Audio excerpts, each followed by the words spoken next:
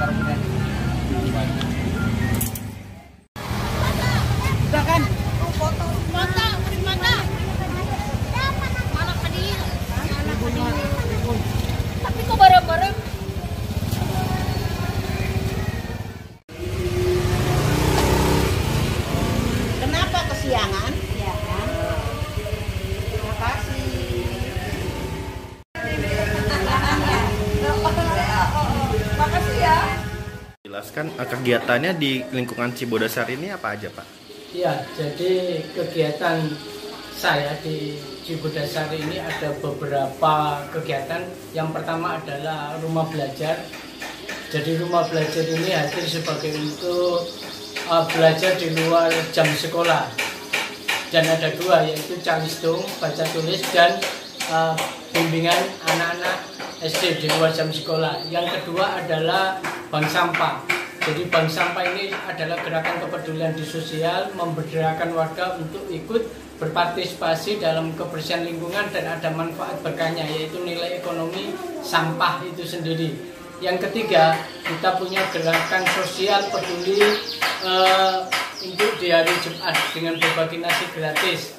Jadi gerakan yang pertama kita berbagi dengan anak yatim, lansia, duafa. Yang kedua kita membuatkan tempat nasi gratis di mana gerakan ini adalah semua orang bisa mengambil atau mengisi. Jadi gerakan bagaimana orang bisa bersedekah tidak harus menunggu ada rezeki. Ada berapa box makanan Pak yang disiapkan? Ah, untuk kegiatan berbagi nasi ini alhamdulillah setahun sudah berjalan ini kurang lebih 300 box.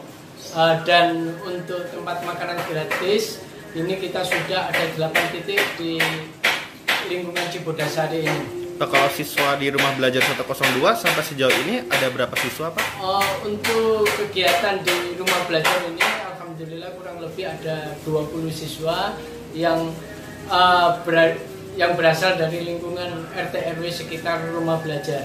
Eh, itu dipungut biaya atau gimana Pak? Uh, jadi proses rumah belajar ini murni kita sebagai kegiatan sosial jadi gratis, bayar pun cukup dengan bawa sampah.